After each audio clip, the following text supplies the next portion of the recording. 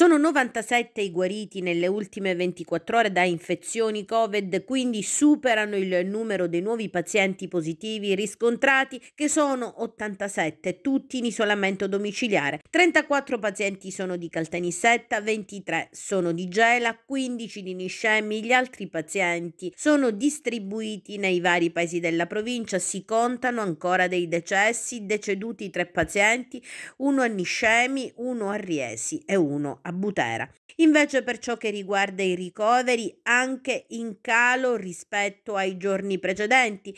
Infatti nel reparto di malattie infettive sono 44 rispetto ai 47 dei giorni precedenti i ricoverati, dei quali 11 sono di Caltanissetta. Il numero maggiore di ricoverati per un paese, infatti Gela ne ha soltanto 10. Per i positivi in quarantena domiciliare a Caltanissetta sono 566, mentre a Gela sono 700 1939.